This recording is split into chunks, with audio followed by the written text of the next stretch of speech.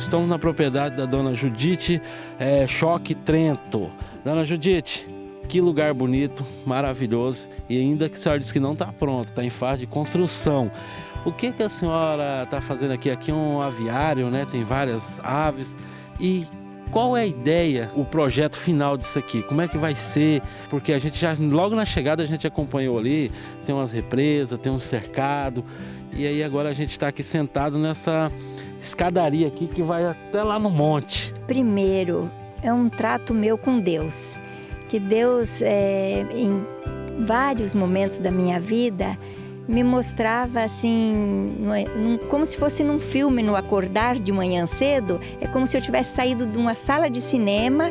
Então eu via aquelas imagens sempre de um lugar bonito, assim, com aves e tudo.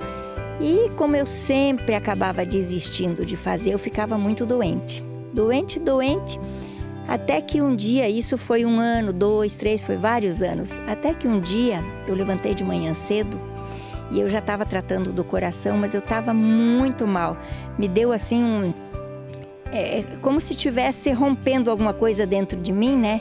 Aí eu disse para Deus, que eu vi que eu estava morrendo, deu aquele soco assim, escureceu as vistas. E eu disse: Meu Deus, me dá só mais uma chance que eu vou montar o Jardim Paraíso. Então, porque são ideias assim que me vinham em filmes, né? Como se fosse filmes em, em, na minha cabeça, em sonhos à noite. E aí, então eu resolvi fazer, que ele me deu essa mais essa chance, né?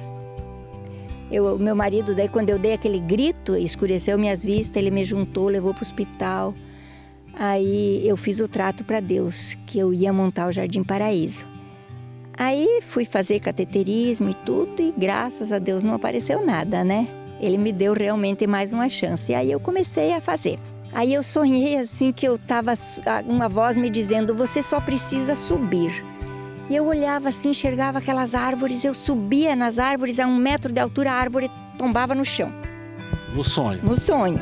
Tombava no chão. Aí eu pegava, escorava aquela árvore, arrumava, não tinha nada para subir, aquela voz me dizendo: você só precisa subir. Era o recado de Deus, né? E assim, quando eu quando estava acordando, aí eu terminei e escutei mais uma vez aquela voz: você só precisa subir. Aí eu pensei: meu Deus, isso é um recado de Deus. Eu disse: Senhor, entendi, eu tenho que subir no monte que o monte não deita, né?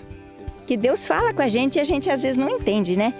Então, o subir no monte, o monte não deita. Então, no outro dia cedo, compramos aqui. Daí, eu já falei para o homem que se ele não tinha vendido ainda, daí vim e comprei.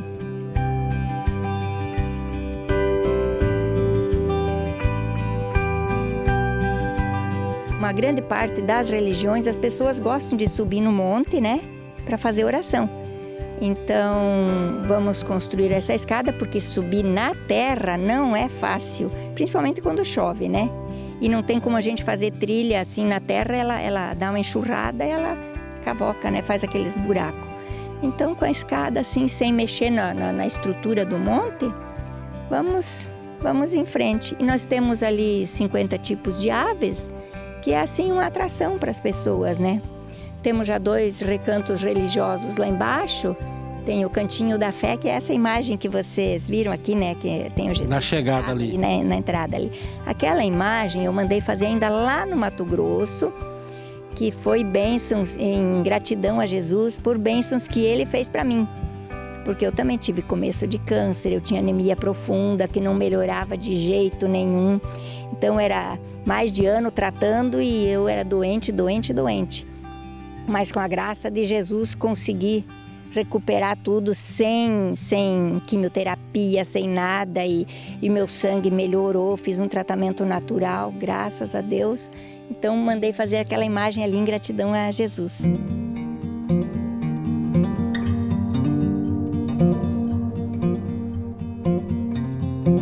Meu marido estava doente e infelizmente ele faleceu. E então a gente não, não deu continuidade nesse prazo, né? Então agora que, que a gente tem começado de novo, né? Vamos ver se assim que parar as chuvas a gente conclui a escada e um barracão aqui para poder recolher as pessoas também, né? que não tem espaço por enquanto, fazer mais banheiros também. Não tem filhote de pavão, de fazão, essas coisinhas a gente vende também, né? E cisne, tem o cisne negro. Então, quando tem essas outras espécies, a gente. Só que esses geralmente, quando nascem, em poucos dias vai tudo, né? O pessoal fica doido já querendo. Vende rápido, graças a Deus. Espero que, que não, não demore muito, né? Espero que a gente consiga concluir logo, né? E daí será um prazer a visita de vocês. Com certeza, o prazer vai ser nosso. tá bom, tá bom. Grata.